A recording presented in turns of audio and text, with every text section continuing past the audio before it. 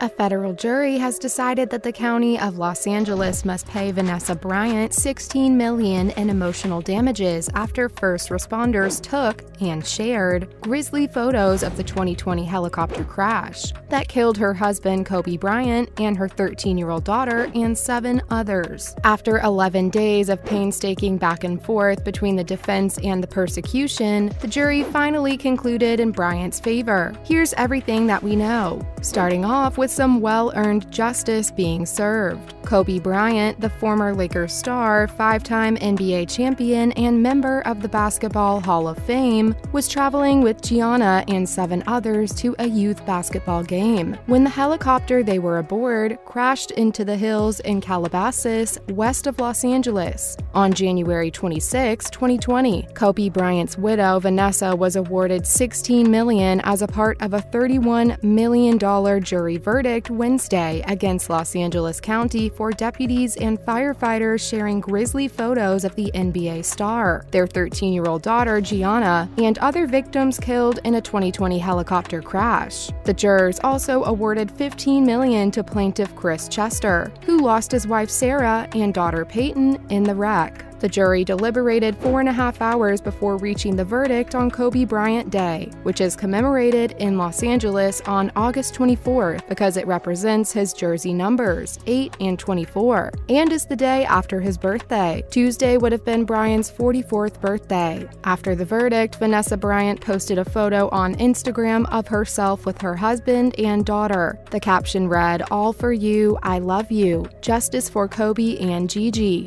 So, how did Vanessa Bryant react to the news when she heard it? On Friday, Bryant testified in court that she was blindsided, devastated, hurt, and betrayed upon learning from a February 2020 Los Angeles Times report that first responders had taken photos of Kobe and Gianna at the scene of the crash. The pictures were shared mostly among employees of the Los Angeles County Sheriff's and fire departments including by some who were playing video games and attending an awards banquet. During the trial, Bryant's attorney, Luis Li, played jurors security video of an off duty sheriff's deputy drinking at a bar and showing the photos to the bartender, who shakes his head in dismay. The lawyer then showed an image of the men laughing together later. Li described firefighters looking at the phone photos two weeks later at an awards banquet and showed the jury an animated chart documenting their spread to nearly 30 people. An attorney for the county defended the taking of the photos as an essential tool for first responders seeking to share information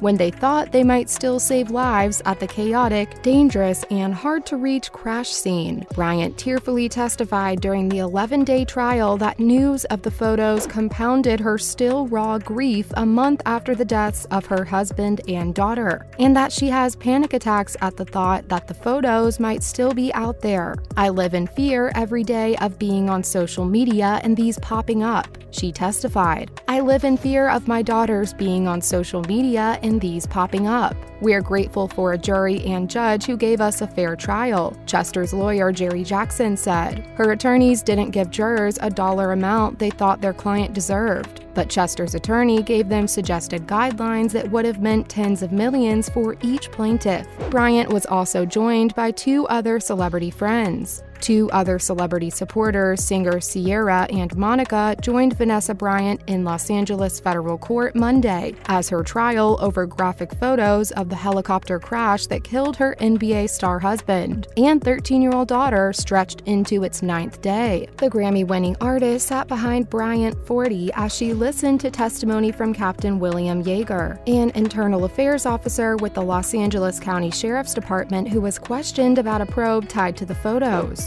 But how did the proceedings go? Vanessa Bryant and her attorney declined to comment outside court Wednesday. Her face was still streaked with tears as she walked past TV cameras and dozens of reporters and climbed into an SUV. Her lawyer, Luis Li, told jurors that the close up photos had no official or investigative purpose and were mere visual gossip shared out of a gruesome curiosity. County Attorney J. Mira Hashmall argued during the trial that the photos were a necessary tool responsible for assessing the situation. She acknowledged that they should have not been shared with everyone who saw them, but she emphasized that the photos had never appeared publicly and had never been seen by the plaintiffs. She said that meant that Sheriff Alex Villanueva and other officials had taken decisive and effective action when they ordered those who had the photos to delete them. However, the verdict came out in Bryant's favor. The nine jurors unanimously agreed with Vanessa Bryant and her attorneys that the photos invaded her privacy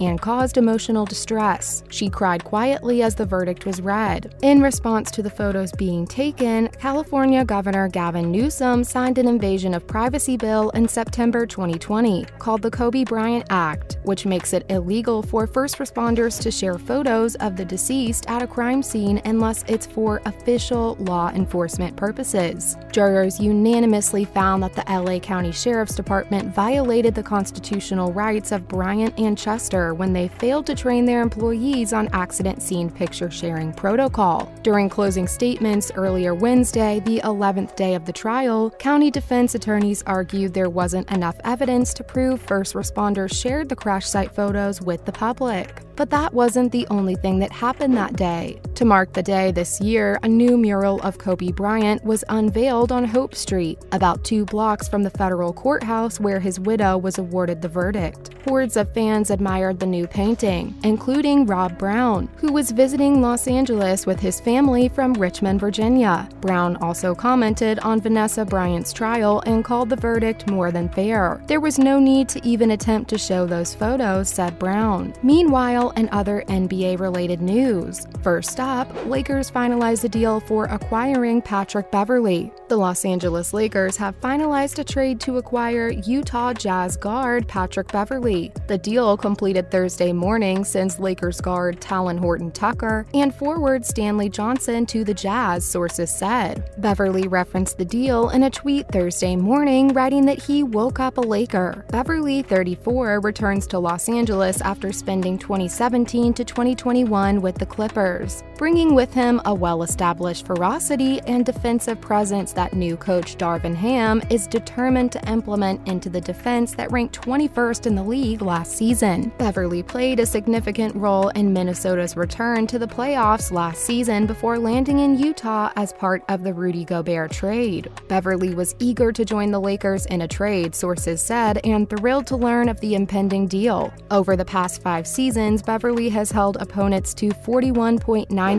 shooting as the closest defender, second best among players defending 2,000 shots according to ESPN Stats and Information. Beverley's arrival on an expiring 13 million contract essentially leaves only LeBron James 46.7 million and Anthony Davis 40.6 million on the Lakers books in 2023 to 24, delivering them significant salary cap space to remake the roster around those two all NBA stars. Next up, Chet Holmgren will be missing the 2022 23 season because of a foot injury. Oklahoma City Thunders announced on Thursday that Chet Holmgren, the number two pick in the NBA draft, had suffered a Lisfranc injury to his right foot early in the crossover Pro Am event, while he was defending LeBron James on a fast break and will miss the 2022 23 season because of that. Presti told reporters later Thursday during an availability session that Holmgren will have foot surgery after the Thunder consulted with three of the nation's top foot specialists. He confirmed that Holmgren had suffered a ruptured tendon in his foot and not a fracture, noting that the Thunder were optimistic about his long term recovery but that they would be extremely conservative.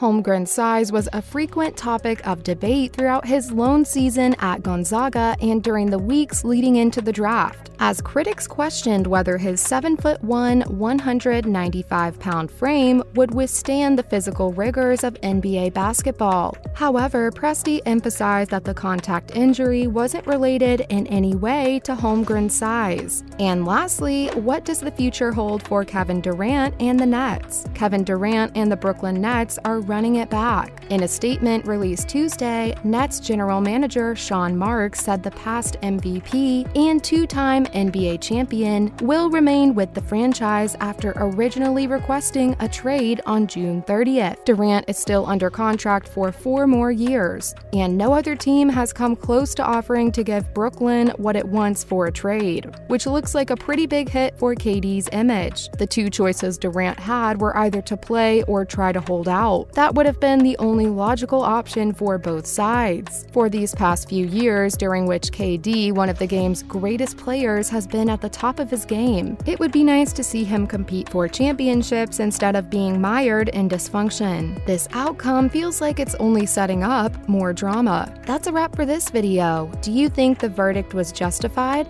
Let us know in the comments below. Make sure to give this video a thumbs up and subscribe to our channel for more videos like this. See you in the next one!